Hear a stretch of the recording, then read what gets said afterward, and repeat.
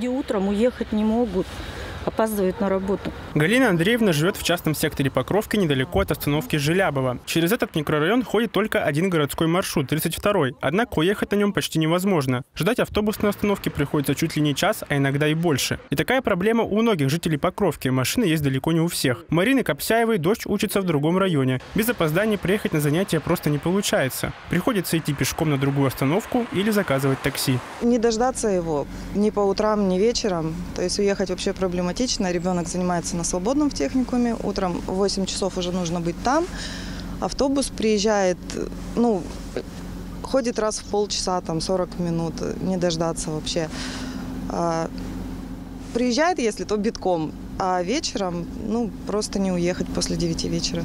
Обидно, что как бы, ну, все считают, что здесь одни бабушки живут, им никуда ездить не надо, хотя молодых людей здесь очень много. Сегодня мы и сами решили попробовать уехать на 32-м автобусе из Покровки. Ждать пришлось около получаса. При этом спрятаться от дождя, снега и ветра на остановке Желябова в сторону центра не получится. Крытого сооружения там нет, только одиноко стоящая лавочка. А вот пассажиры рассказали, что никаких проблем раньше с 32-м автобусом не возникало. Он ходил регулярно. 32 меньше стало намного. Сколько приходится ждать примерно? Ну, 32 бывает, что минут 20 выходит, э, что приходится ждать. 11 чаще, а может и больше. Они очень часто ходили. Просто не надо было подолгу стоять. А сейчас вот на- наступит э, зима, и вообще проблемы начнутся. О перебоях в работе общественного транспорта говорят и водители. Экипажей просто не хватает, жалуются шоферы. У перевозчиков кадровый голод. Водителей не хватает и все. Не хватает Да, да. А с чем связано то, что люди увольняются, говорят? Почему? Ну не знаю. А автобусов вообще достаточно на линии? Автобусов достаточно на линии? Ну три автобуса сегодня. В департаменте транспорта нам сегодня эту информацию подтвердили. У перевозчика, который обслуживает 32-й маршрут, не хватает водителей. Действительно, у нас сейчас самая основная проблема – это 32 маршрут. Значит, на маршруте иногда работает в пределах трех-четырех машин. Сегодня буквально в смысле приглашал перевозчиков, значит, э, проводил с ними определенную работу.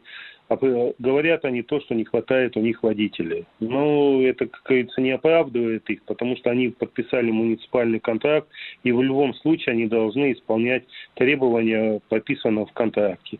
Поэтому за неудовлетворительную работу он уже два раза привлекался к административной ответственности, но вот обещает в течение недели, 10 дней он наладить выпуск и привести все в соответствие. К сожалению, это проблема у всех перевозчиков. Есть подвижной состав, но нету водителей и кондукторов. То есть самих автобусов у частных перевозчиков достаточно, на них просто некому работать. Однако перебой случается и у муниципальных организаций. Одна из таких обслуживает 49-й маршрут из Ветлужанки до кардиологического центра. Красноярцы рассказали, что порой и его приходится ждать по 30 минут. Как говорит кондуктор с этого маршрута, проблема в странном расписании. Ломаются машины сильно часто. Из-за расписания еще. Потому что расписание делают не, не такое, как это, как надо. А что конкретно не так с расписанием? Ну вот, например, мы встаем на обед, да, а четыре машины на обеде стоят на одной конечке, четыре машины на другой конечке стоят. Интервал по- получается большой. Перебои с автобусами проблема для Красноярска не новая, но особенно сильно она обострилась в межсезонье. В начале недели мокрый снег буквально парализовал движение в городе, пробки доходили до 7-9 баллов. А из-за сдвинувшихся интервалов поездка на общественном транспорте до работы или учебы превратилась в настоящее испытание. Автобусы были переполнены. Однако, как говорят в департаменте транспорта, весь подвижной состав они к зиме подготовили. Теперь очередь красноярских водителей. Уже сейчас специалисты настоятельно рекомендуют сменить летнюю резину на зимнюю. Игорь Шишкин, Артем Мячин. Новости ТВК.